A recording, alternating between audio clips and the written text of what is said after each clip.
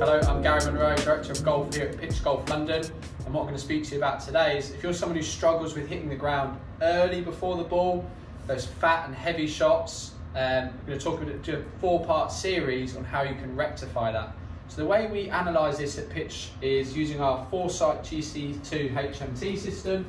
And over here you can see all of our data. And this bottom left is your angle of attack. So how is the club travelling at impact? It's travelling five degrees upwards. The loft is 37 degrees. Here on this 7 iron we used, the loft, the static loft is 32. So we're adding loft and we're catching the ground early and hitting upwards on the ball. On a wet, muddy day, you're contacting the ground early and that the club is travelling up, you're not going to get a consistent strike.